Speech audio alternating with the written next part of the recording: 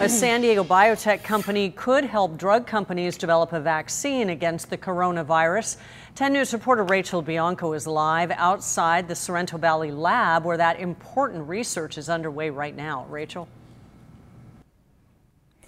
Hi, Kimberly. Right now, the researchers inside this lab are writing the genes for the coronavirus, and what they do in here could ultimately lead drug companies to come up with a vaccine.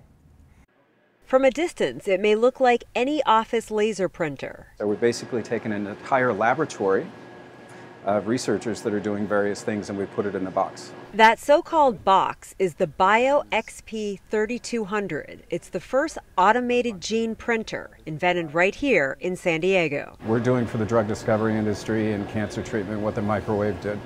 Todd Nelson is the CEO of SGI DNA. It's very rewarding because we're able to take technology that has not really been around before and we're able to find new markets and new ways to help people around the world. Technology that he's confident will lead to a vaccine against the coronavirus. If you want to build a gene, we know what the sequence is. It comes through the internet. The building blocks for the genes are inside the system.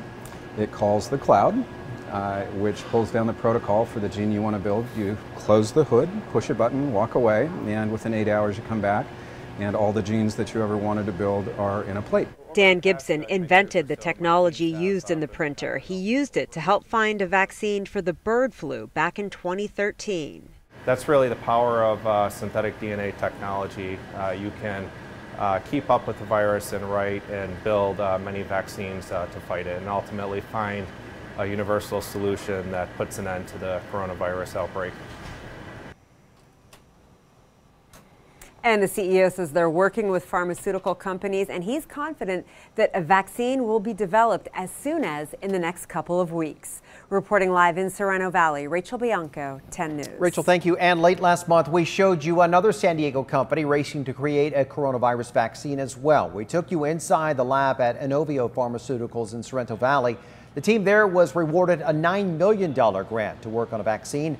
They've already begun manufacturing a potential vaccine. They hope it'll be ready for clinical trials here in just a few short months.